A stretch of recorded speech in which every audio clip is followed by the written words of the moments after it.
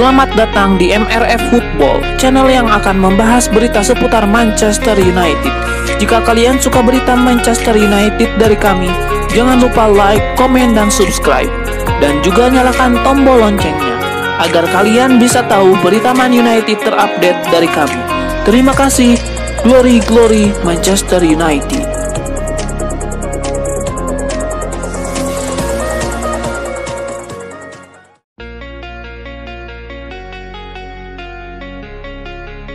Ada kabar baru terkait masa depan Erik Ten Hag. Nasib pelatih asal Belanda itu baru diumumkan oleh Manchester United di pekan depan.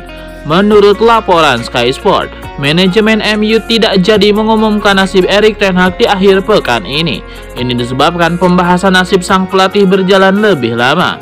Karena Ineos benar-benar melakukan evaluasi yang mendetail terkait masa depan Erik Ten Hag. Jadi proses ini berjalan lebih lama dari perkiraan awal dan pengumuman nasib Erik Ten Hag harus tertunda. Namun dalam laporannya, Sky Sport menyebut bahwa penantian fans MU itu akan segera berakhir. Ini disebabkan pembicaraan mengenai nasib Erik Ten Hag sudah mencapai tahap akhir. Sedikit lagi manajemen MU akan mengambil keputusan terkait masa depan sang pelatih. Jika tidak ada halangan, di awal pekan depan manajemen MU akan mengumumkan ke publik keputusan mereka apakah bertahan atau berpisah dengan Erik Ten Hag.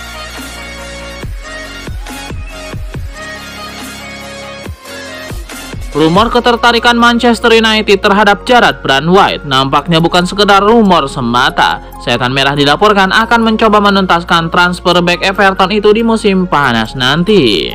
Menurut laporan Liverpool Echo, Manchester United akan segera bergerak untuk mengamankan jasa Brand White. Mereka menargetkan sang bek jadi rekrutan pertama mereka di musim panas ini. Jadi mereka mulai menyusun proposal untuk pembelian sang bek. MU berharap bahwa transfer ini kelar sebelum tanggal 30 Juni 2024 agar sang bek bisa langsung ikut pramusim MU.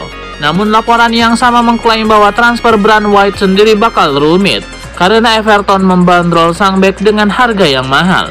The Toffees hanya mau melepaskan Brand White di angka 75 juta pound sterling. Angka ini sulit untuk ditebus MU karena budget transfer mereka tidak terlalu banyak di musim panas ini.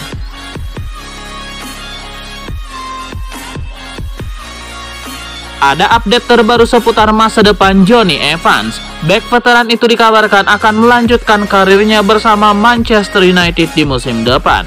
Menurut laporan Manchester Evening News, baik manajemen dan juga tim pelatih MU ingin Evans bertahan di skuad setan merah. Usia Johnny Evans memang tidak muda lagi, namun di musim lalu ia sanggup menjadi pelapis yang bagus bagi setan merah. Itulah mengapa MU ingin sang bek tetap lanjut bersama mereka pada musim 2024-2025 nanti. Menurut laporan tersebut, manajemen MU sudah memberikan tawaran kontrak baru untuk Johnny Evans. Kontrak baru sang bek berdurasi satu tahun. Langkah ini diambil sesuai dengan kebijakan internal MU bahwa perpanjangan kontrak pemain yang berusia 30 tahun ke atas tidak bisa dengan durasi panjang. Johnny Evans dikabarkan secara garis besar siap bertahan dengan MU. Saat ini agennya sedang membicarakan kontrak ini dengan manajemen MU dan dalam waktu dekat ini pembicaraan itu bisa kelar.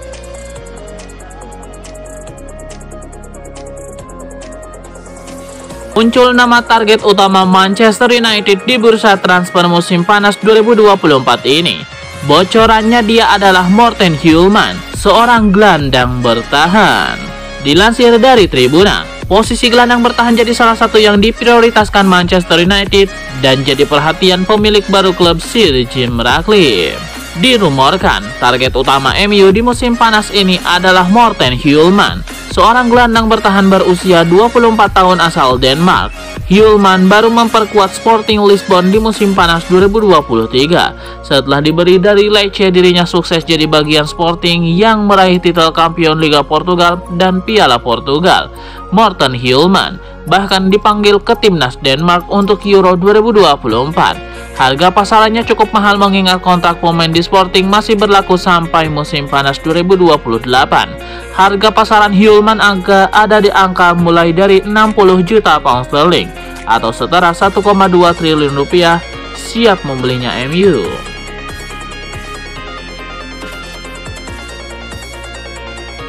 Manchester United bisa mendatangkan sejumlah pemain dengan harga miring pada bursa transfer musim panas 2024. Pasalnya kontrak mereka akan berakhir pada tahun 2025 nanti.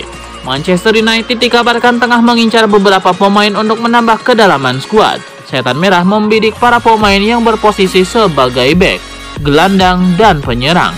Namun MU tidak bisa belanja jor-joran di bursa transfer musim panas 2024 Pasalnya kesehatan merah harus mematuhi aturan keuntungan dan berkelanjutan dari Premier League. Untuk mengatasi masalah itu, Manchester United mungkin bisa mengincar para pemain yang kontraknya akan habis pada tahun 2025 sebab mereka kemungkinan bisa digait dengan harga yang miring. Di antaranya adalah Kylie Walker Peters dari Southampton, Denzel Dumfries dari Inter Milan, Lenny Yoro dari Lille, Yusuf Fofana dari AS Monaco, dan Ivan Tuni dari Brentford.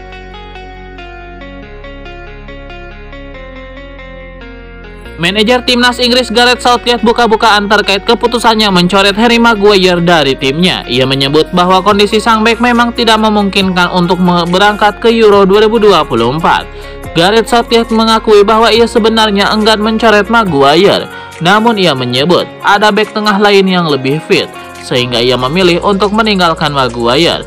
Pada kesempatan yang sama Southgate juga membeberkan alasan mempertahankan Shaw yang sebenarnya sama-sama cedera. Ia menyebut progres penyembuhan Shaw berjalan lebih lancar ketimbang Maguire, sehingga ia dibawa ke Euro 2024.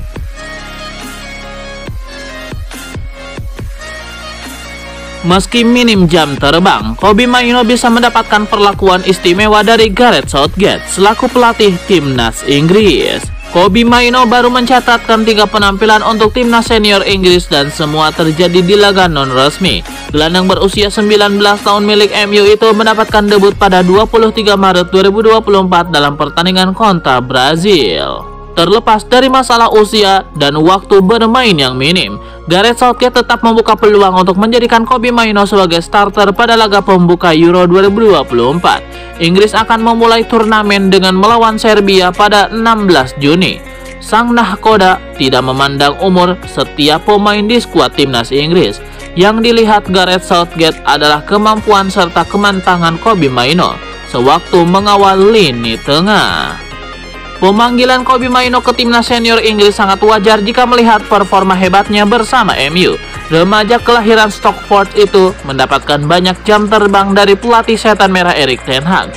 Kobe Maino memainkan total 33 pertandingan sepanjang musim 2023-2024 dengan 30 di antaranya dibukukan sebagai starter.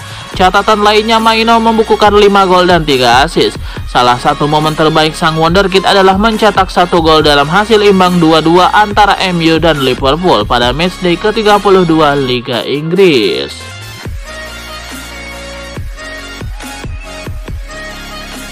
Manchester United gagal dalam upaya terakhir untuk membajak kepindahan Tosin Adarabioyo ke Chelsea setelah sang pemain bertahan meninggalkan Fulham dengan status bebas transfer. Setan Merah terlambat bergerak untuk pemain berusia 26 tahun itu. Hal tersebut menurut laporan terbaru dari Daily Mail yang mengklaim bahwa MU terlambat untuk mendapatkan jasa Adara Bioyo. Sang pemain sudah berada di puncak kepindahannya ke Chelsea ketika Setan Merah menegaskan ketertarikannya.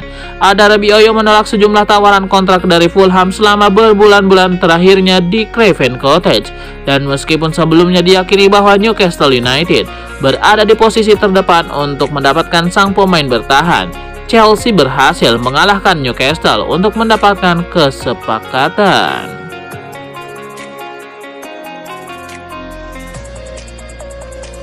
Juventus minta MU lebih bersahabat patok harga pemain buangan, tapi klub Premier League itu pun ajukan opsi pertukaran dengan Chiesa plus uang cash. Sebagaimana diwartakan Gazeta dello Sport, manajemen Bianconeri merasa bandrol harga Greenwood yang dipatok MU terlalu mahal, yakni 40 juta euro. Juventus pun meminta harga diskon dari pemain berbakat asal Inggris tersebut. Bagi Juventus, 40 juta euro, kemahalan dan beberapa pihak Man United bisa bernegosiasi lebih bersahabat dengan mereka. Juventus berencana memberikan uang cash plus mantan pemain akademi Chelsea Samuel Ealing Jr. sebagai bagian dari transfer Greenwood. Meski begitu, Man United diklaim meminta Federico Chiesa jika opsi pertukaran yang diambil. Winger Italia ini mulai mempertimbangkan masa depannya di Turin seiring dirinya ingin merasakan tantangan baru di liga lain.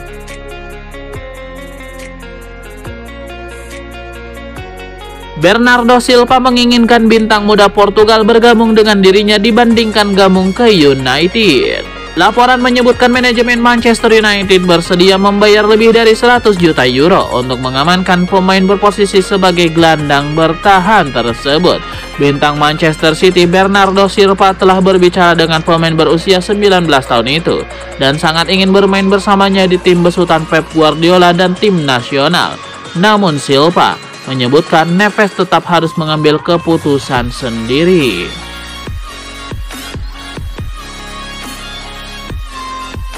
Mantan gelandang Arsenal dan Chelsea, Cesc Fabregas, menyarankan gelandang AS Monaco Yusuf Fofana menolak tawaran Manchester United. Apa alasannya?